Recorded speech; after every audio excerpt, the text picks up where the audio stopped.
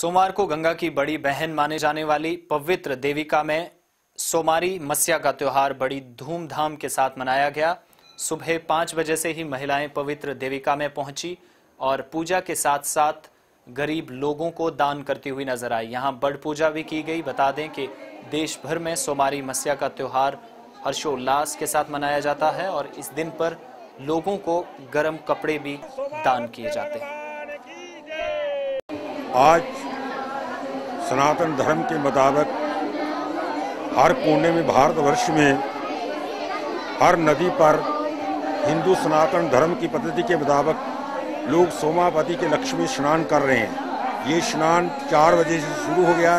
हज़ारों लोगों ने, नर, नारी, बच्चे, बुज़ुर्गों ने इस दिन स्नान करके और अपनी आत्मा को पवित्र किया और अपने परिवार की वृद्धि के लिए दान किया। दान जो है वस्त्र हैं और इसमें अन्न आदि, भोजन, पात्र, फल, बर्तन आदि और गर्म कपड़े आदि गरीब लोगों को देकर अपने कल्याण के लिए प्रवृत्त किया है। ये सनातन धर्म के मुताबिक सोमावती का यो पर्व है। ये स्कंद प्राण में और अनेक प्राणों में इसकी व्याख्या आती है। इस दिन का स्नान करने से हमारी आत्मा तृप्त होती है और ये आत्मा वेकुंठ धाम में चलती है।